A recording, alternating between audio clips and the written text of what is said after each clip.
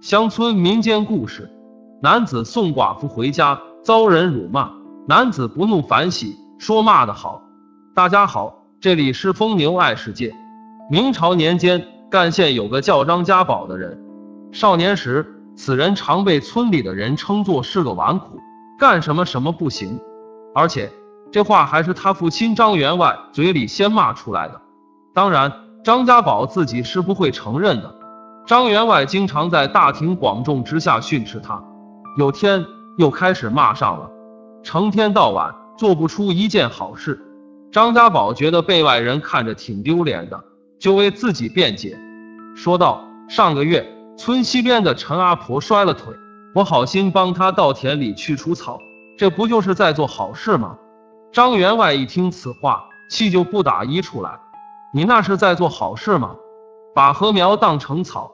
若不是在临近田里做事的老梁发现的早，那几亩田里的禾苗就全要被你拔光了。家宝眨巴了几下眼，抬头望天，努力回想自己还做了什么好事。少顷，又道：“李二家的黑狗要配种，是我帮忙找了石头家的大花狗，这才生了一窝不是全黑的狗出来。这都什么事啊？”围观的人一起哄笑起来。张员外心头火起，当即。在地上捡了根枝条就抽了过去。你个败家玩意儿，四体不勤，五谷不分，老子天天跟在你后面赔钱。家宝往前面逃去，他爹就在后头追着骂：成天不学无术，我前脚才把你送进学堂，后脚你就翻围墙溜出去玩。这种戏码在村里经常上演，人们都习惯了，没人上来劝，边瞧热闹还边议论。家宝这孩子就是个纨绔，张家是有些家底的，祖上留下来的房屋田产颇丰，既然吃穿用度不用发愁，那么张员外自然就有更高的追求。他希望自家独子能考个功名回来，光宗耀祖，花费了不少的钱财，四处请夫子。可家宝就是不争气，读不进去，捧着书就想打瞌睡，一年年的过去。最后，张员外气馁了，在家宝十七岁这年，彻底放弃了让他考功名的追求，不用再受学堂里规矩的束缚。张家宝整个人都觉得轻松无比，天天在外面玩的夜不归宿，没钱用了才回家一趟。对于这个儿子，张员外深感头疼，让妻子丁氏不要再拿钱给他用。不成想，张家宝竟然偷拿家里的东西去当铺。拿了钱，接着再玩。兴家犹如针挑土，败家犹如水推沙。张家即使家底再厚实，也经不住他这么折腾啊！张员外考虑再三，有日趁着儿子回家，主动拿了二百两银子给他，说这是本钱，让家宝自个儿学着做点小生意，赚到的钱归他自己用。张家宝觉得这个法子不错，甚合他意，问爹娘伸手要钱。总要被啰里啰嗦的询问一堆的事，哪有用自己的钱自由？张员外本是想拿钱打发他，给他找点事情做，省得整日里跟着一群狐朋狗友游手好闲。哪知张家宝还真的沉浸进去，用心在做这件事。只要他不再做混账事，张员外心底里就轻松了。不过村里的人是不看好家宝的，败子若收心，犹如鬼变人。鬼是变不了人的，那么同样，败子也收不了心。张家宝没去管别人怎么看他，成日里琢磨着如何把生意做好，以期赚到更多的钱。半年后，有日回来的晚，亥时快过半了，没几家人屋里的灯是亮着的。村里有段路特别漆黑，好在张家宝走习惯了，摸黑也能走得飞快。隐约有窸窣声传来，张家宝顾不上往周遭瞧。仍是步履匆匆，再走过几户人家，就能到自己家了。他把步子迈得更大。突然，砰的一声响，身后好似有重物摔在地上，接着有人痛苦的呻吟着。张家宝停下脚步，转过身仔细瞧去。今夜的月光躲在云层里，看不太清楚是何人。是家宝兄弟吗？对方倒先开了口。张家宝听出是村西头赵寡妇的声音，便问他：“嫂嫂，你怎么了？”赵寡妇哎呦了几下，才道：“我不当心滑倒了，走不了路。好兄弟，你做个好事，送我回家行不行？他家离这虽有一段路，但张家宝觉得顺手帮人一下忙，这并不是什么难事。没想其他的，立即就答应下来。没做过体力活的人，被人行走有些辛苦，何况赵寡妇还不瘦。张家宝咬着牙，坚持着送她到了家门口。嫂嫂，就送你到这了，你自个儿进屋吧。他知道男女要避嫌。故没敢把赵寡妇送进屋里去。赵寡妇把门锁打开，推开了门，却没进去，而是抓住张家宝的衣裳，大喊起来：“非礼啊！有人要非礼我！”张家宝莫名其妙：“嫂嫂，你在说什么呀？松开手，我要回家了。”说着就想扒拉开他的手，哪知赵寡妇非但不松手，反而抓得更紧，嘴里也喊得更大声了：“畜生！”这种事情你也做得出来？深更半夜的，他尖利的声音把周围的邻居都吵醒了，纷纷点灯出来查看发生了何事。每出来一户人家，赵寡妇便要气愤的把事情说上一遍。我都睡下了，他过来敲门，都是乡里乡亲的，我不好不开门。结果这门一打开，他就要。夜里虽然黑，但借着昏暗的光。人们还是能瞧清赵寡妇的衣衫是凌乱的。张家宝气死了，骂道：“饭可以乱吃，话可不能乱讲。嫂嫂，分明是你自己跌倒，要我……”话未说完，赵寡妇就躺地上撒泼打滚，被人这么占了便宜去，我不活了！张家宝气得整个人都在打抖。在外头玩归玩，可年轻人都爽利得很，这等无赖他还是头一回见。莫要诬陷好人，我懒得搭理你。说罢，就想脱身离去。赵寡妇哪容得他走，上前拖住他的裤脚不放手。大家来评评理，这个纨绔毁了我的名声，让我日后还怎么活下去啊？有个年轻的小伙笑道：“你有什么名声啊？再说又比家宝大了好多岁，都人老珠黄了，他非理你做什么？”很显然，他是不相信的。赵寡妇在村里的名声与张家宝有的一比，同样也不太好。被戳中了心事，赵寡妇怒吼起来：“没看到就不要搅局！你想同他一道欺负我这个寡妇不成？”那人撇了撇嘴，没再接话，不想多事。起开！你摔了跤，我好心背你回来，倒要赖上我了。张家宝很不耐烦，使劲推搡了赵寡妇一把，赵寡妇往后倒去。一个不防，头就撞在地上，不吭气，一动不动，瞧上去像是昏迷过去。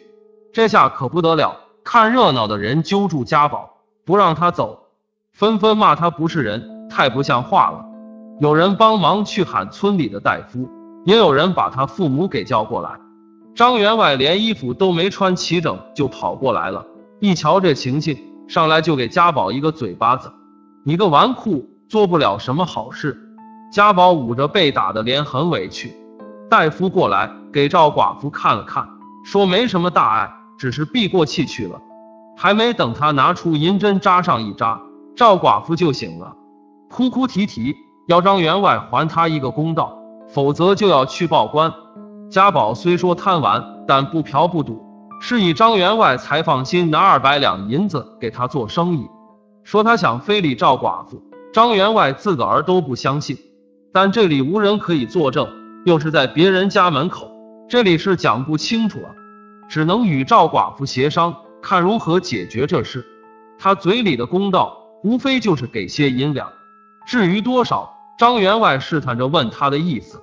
赵寡妇伸出五指，狮子大开口：“五百两。”旁人一阵哄笑，有人嘲讽道：“半两给你都多了。”赵寡妇暗地里会去外头做些不光彩的勾当，村里人都是知晓的。家宝骂道：“你想敲诈是吧？以为我是好惹的？谁怕谁啊！去衙门报官好了。”张员外呵斥他，安静的待在那，不许说话。这事情当真闹去了衙门，最吃亏的还是家宝。若是能用钱解决，那就费些钱好了。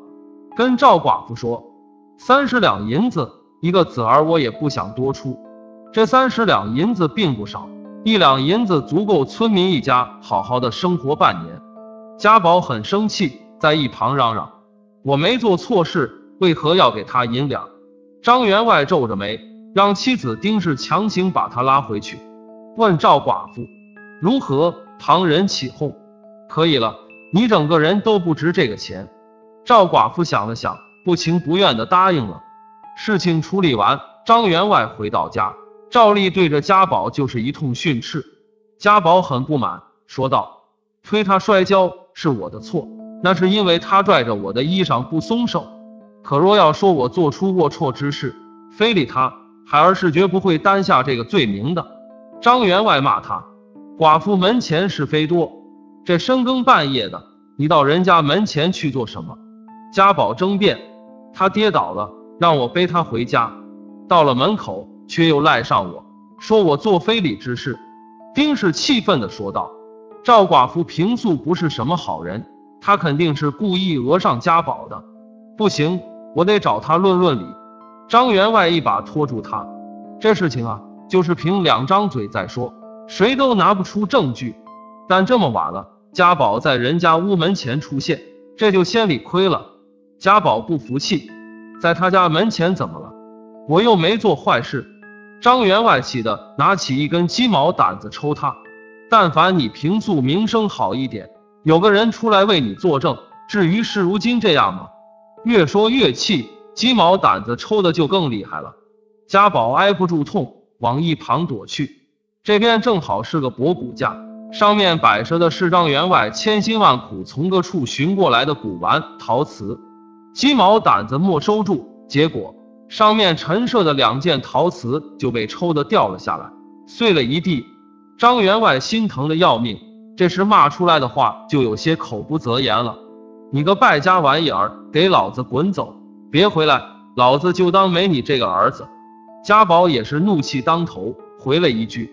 滚就滚，就这么着，他当真转头冲进了茫茫的夜色里。丁氏急得想去拉，被张员外扯住，不许管，看他能在外头待多久。夫妇两个都以为家宝会像以往一般，过个三五天就会回来。可半个月过去，连家宝的人影也未瞧着。丁氏慌了，让张员外去寻儿子回来。张员外犟得很，不肯去。可直到三个月过去。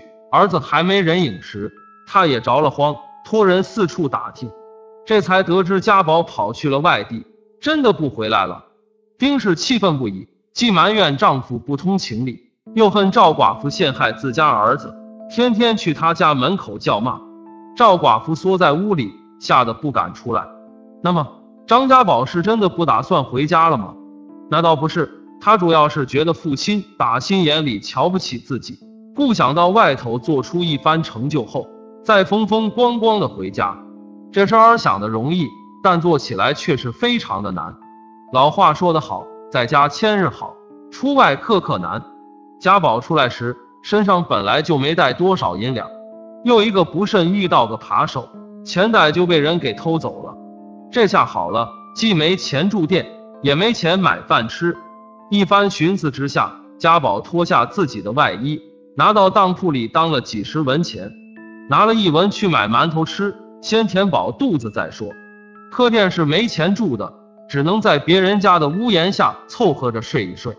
以前过惯了锦衣玉食的日子，如今活着却像一个乞丐。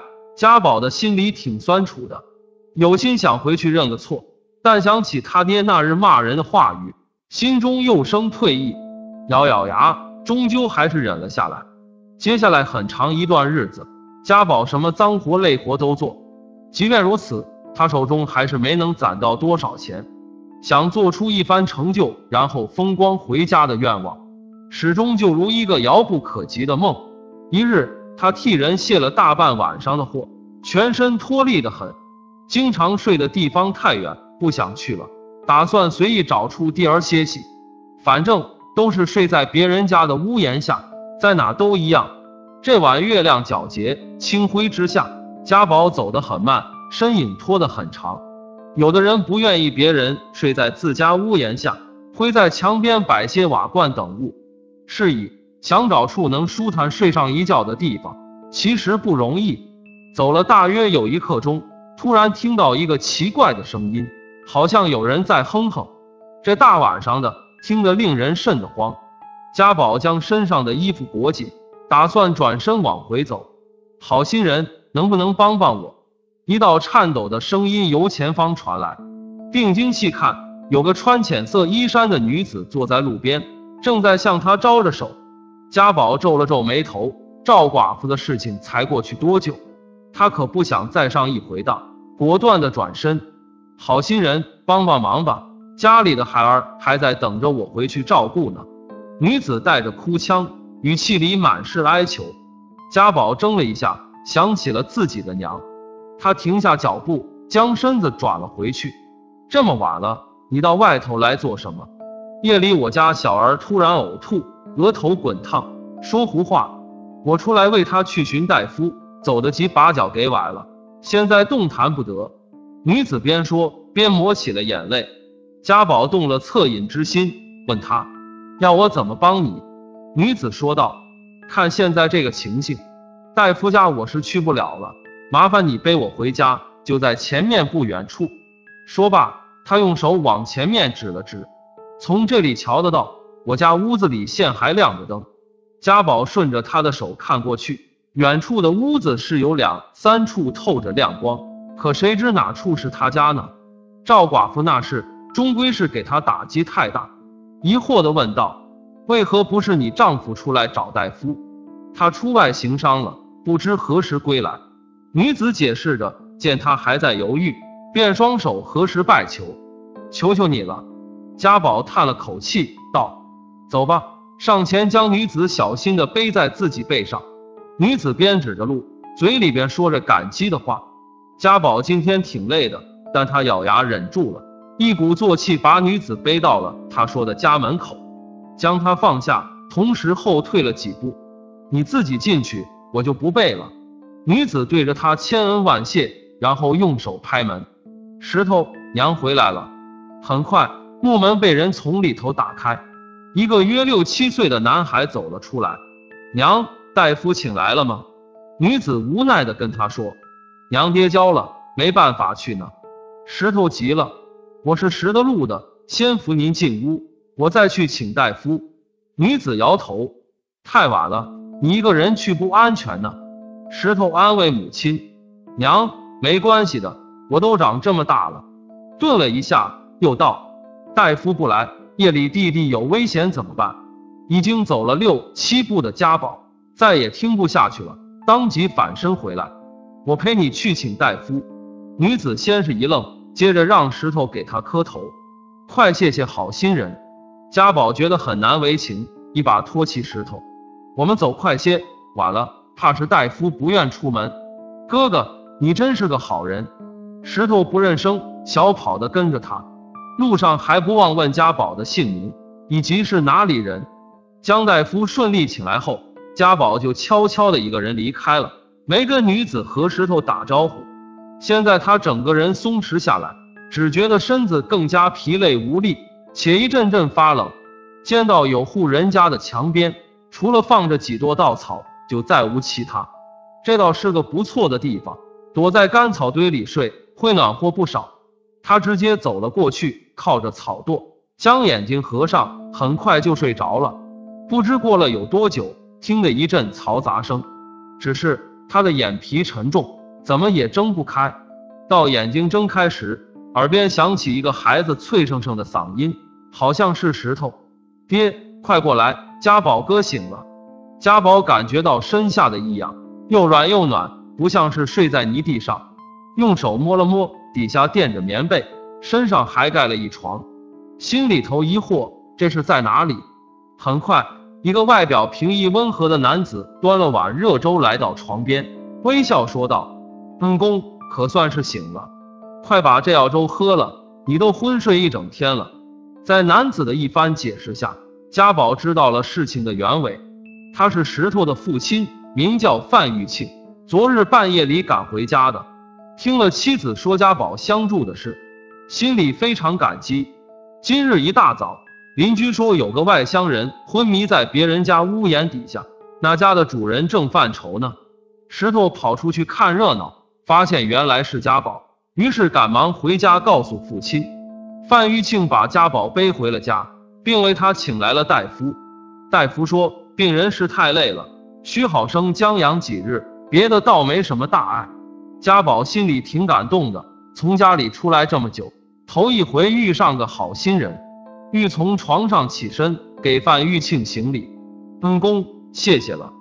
范玉庆拦住他，说道：“你才是我们家的恩公。”两人会心相视而笑。等他喝完药粥，范玉庆与他攀谈起来。我听你的口音不像是本地人，确实如此。家宝说了自己被赵寡妇诬陷，以致远离家乡一事，但却把与父亲赌气之事隐去了。范玉庆是个做买卖的人，听家宝有意想学做生意，便主动提出可以带着他一起做，并为他出本钱。家宝大喜过望，这回硬是挣扎着下床，拱手作揖。以表谢意。老话讲，师傅领进门，修行在个人。学手艺是这样，做生意亦是如此。有范玉庆带着他入行，家宝学起来很快。他脑子灵活，而且财运好似还特别好，只用了三年光景就挣得万贯家财。范玉庆问他：“如今你也算是事业有成了，要不要回家乡去看看？”家宝沉吟片刻，摇了摇头。算了，心里头觉得自己挣得的这些钱，估计在他爹眼里算不得什么。时光荏苒，一晃又是三年过去。这期间，家宝的变化更大了。